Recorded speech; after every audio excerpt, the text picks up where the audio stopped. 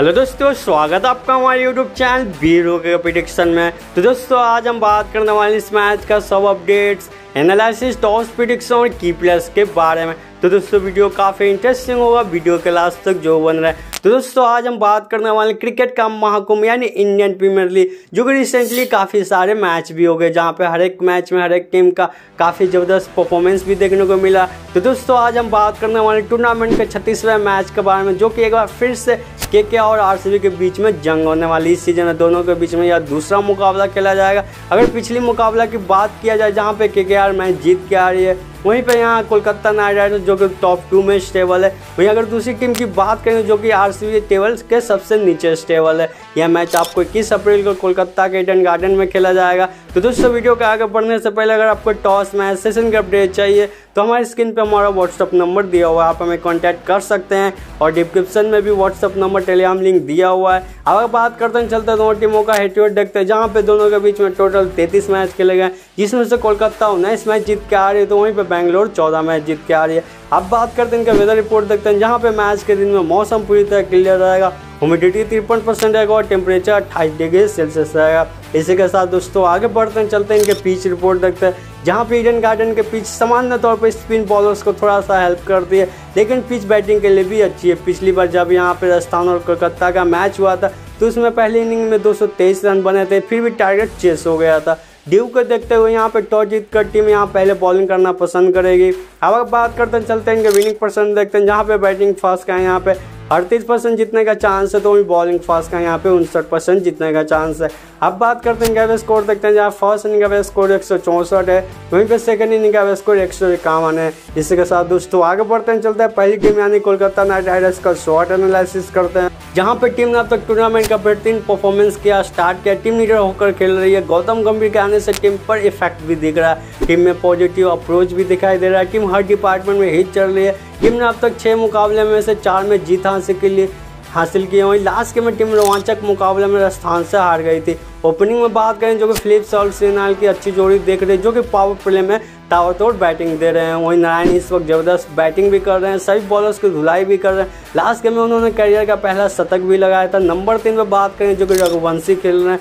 वहीं पे middle order में वेंकटेश सही और श्रेयस से तेज गति से रन नहीं बना पा रहे हैं। यहाँ पे लो ऑर्डर में फिनिशिंग में आपको रिंकू सिंह एंड्रे रसल जो कि ताबड़तोड़ बैटिंग कर रहे हैं। वहीं बॉलिंग में जहाँ पे टीम टारगेट सेव नहीं कर पाई थी टीम जहाँ पे छः बॉलिंग ऑप्शन के साथ खेल रही है मिचल स्टार्क जो कि अब तक उतने इफ़ेक्टिव नहीं दिखे। हर्षित राणा जहाँ पे सात विकेट लेकर टीम के लीडिंग विकेट टेकर भी है। वहीं पर वैभव अरोड़ा लास्ट गेम में एक विकेट लिए थे, जहाँ पे स्पिन बॉलिंग में सुनील नारायण वरुण चक्रवर्ती दोनों ने चार विकेट लिए थे। अब बात करते हैं कोलकाता का प्लेइंग इलेवन देखते हैं। जो कि फिलिप सॉल्ट है सुनील नारायण है वेंकटेश अय्यर है श्रेयस अय्यर रिंकू सिंह है रघुवंशी है एंड्रे रसल है वैभव अरोड़ा वरुण चक्रवर्ती है हर्षित राणा मिचेल स्टार्क है। अब बात करेंगे पैक प्लेयर देखते हैं, जो कि अनुकूल रॉय है सुहास शर्मा मनीष पांडे है गुरबाज है रमनदीप है। वहीं अगर कुछ की प्लेयर की बात किया जो कि फिलिप सॉल्ट है सुनील नारायण और मिचेल स्टार्क है। अब अगर बात करते हैं चलते दूसरी टीम, यानी बेंगलोर का शॉर्ट एनालिसिस करते हैं, जहाँ पे इस सीज़न में फिर से फैंस का दिल टूट गया। टीम के लिए टूर्नामेंट अब तक बहुत डिसपॉइंटेड वाला टीम ने अब तक सात मैच खेले, जिसमें से एक मैच में ही जीत हासिल की। टीम लगातार पाँच मुकाबले हार गए और यहाँ से एक भी हार गई टीम टूर्नामेंट से बाहर कर देगी।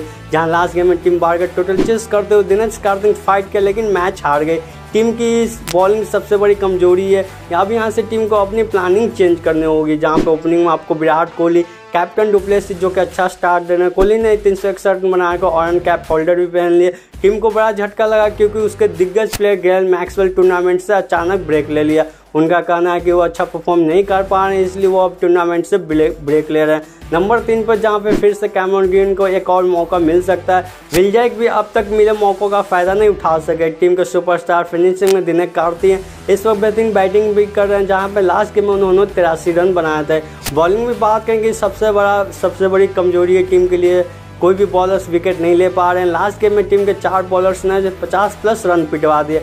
यहाँ पे मोहम्मद सिराज को लास्ट गेम से ड्रॉप भी कर दिया गया था। आकाशदीप जो इस गेम में चांस मिल सकता है। इस पर स्पिन बॉलिंग में बात करें जो टीम की वीकनेस है, जहाँ पे मयंक डागर विजय कुमार, सभी फ्लॉप चल रहे हैं। कर्ण शर्मा को फिर से टीम मौका दे सकते हैं। जहाँ पर ऋषि टोपली, वो भी अब तक अच्छा परफॉर्म नहीं कर पा रहे हैं। न्यूजीलैंड के लॉकी फर्गूसन को चांस मिला था बट वो भी काफ़ी सारे रन पिटवा दिए। अब बात करते हैं बेंगलोर का प्लेइंग इलेवन देखते हैं, जो कि फैब डुप्लेसिस जो कि कप्तान है विराट कोहली विल जैक रजत पट्टीदार है, कैमरून गिन है, अनुज रावत है, दिनेश कार्तिक है, महिपाल लोमरोर है, आकाशदीप है, मोहम्मद सिराज, लौकी फर्गूसन है। अब बात करते हैं इम्पैक्ट प्लेयर देखते हैं, जो कि सौरभ चौहान है, प्रभु देसाई है, यश दयाल है स्वप्निल सिंह है कर्ण शर्मा वहीं अगर कुछ की प्लेयर की बात किया जाए, जो कि दिनेश कार्तिक है, विराट कोहली या मोहम्मद सिराज है। तो फाइनली दोस्तों, हमने हर एक चीज़ पर डिस्कशन कर ली तो आगे बढ़ते हैं, चलते हैं टॉस विनर के तो हमारे अकॉर्डिंग यहाँ पे टॉस विनर बैंगलोर होगी।